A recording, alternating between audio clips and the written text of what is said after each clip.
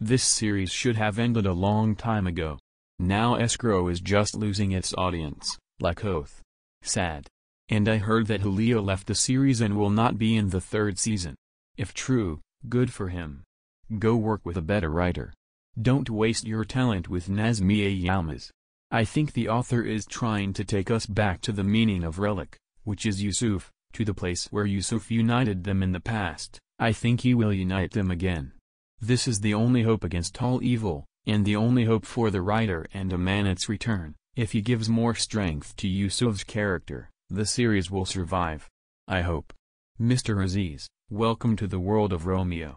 As if there were no other women in this world. Go back to your office and have some tea. God. Naz does not stop the nonsense of foreigners falling in love with Seher, especially her clothing, hairstyle, sweaters.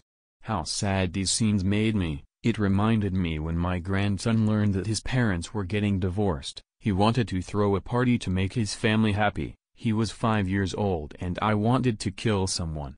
She is now 15 years old today and it still saddens me to remember her little face is so sad but she got over it she is a happy girl, she has a good relationship with her family even though she lives with me.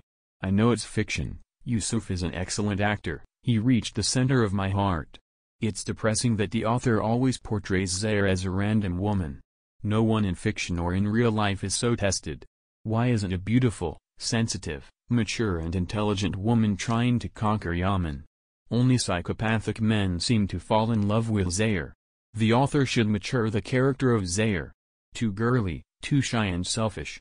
I hope retention decreases so much that Ms. Naz remembers that we value her. Don't take us by creating these Seher and Yaman characters who sometimes destroy them on purpose day by day. Seher always thinks naive and stupid and is loyal to everyone, just poor Yaman who is always by your side. Uh, sickening for too long in our opinion. Ha ha ha stupid disease in real life did the doctor come to the patient's house because he was worried about his patient?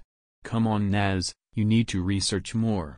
Aziz, while trying to meet Seher before meeting Yaman, comes to the wrong place, the monster opens the door I know him much better than you, add it to your file Aziz must admit how embarrassing words are.